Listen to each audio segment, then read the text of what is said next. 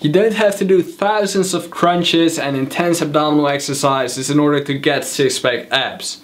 However, you do need to work out and get a proper nutrition plan in order to burn body fat and then get six pack abs. A lot of people think that you have to do tons of abdominal exercises in order to burn the fat off of your stomach.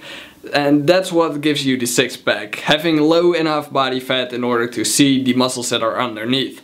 However, you don't do this by only doing crunches. What you will do is you will work out your entire body. Another misconception is that you have to do cardio in order to get six pack abs. This isn't true. A lot of people don't do cardio, I'm one of them, and still have six pack abs. And this is because they simply have the right calorie intake. There are a lot of different cardio activities and the best one is the one that you prefer. So find something that you like to do and that you can stick to and also that helps you to burn some excessive calories. You probably heard of the term six pack abs are made in the kitchen and a lot of people have the discipline to work out but still eat whatever they see and this is pretty bad if you want to lose weight in order to get visible abs. You don't have to be extremely strict to yourself. It's not like you can never touch junk food anymore and that you cannot eat your favorite food every week or every day even. It really comes down to calorie intake. Your calorie intake should be lower than what you need in order to maintain weight or in order to gain weight.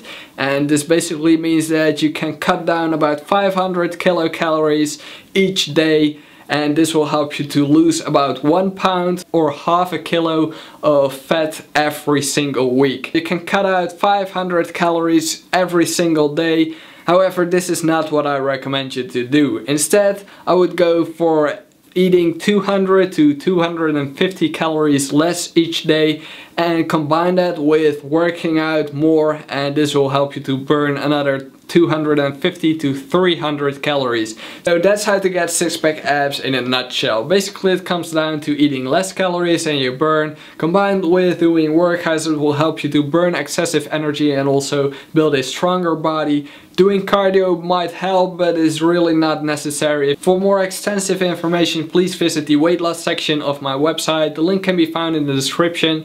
Thank you for watching and I will see you next time.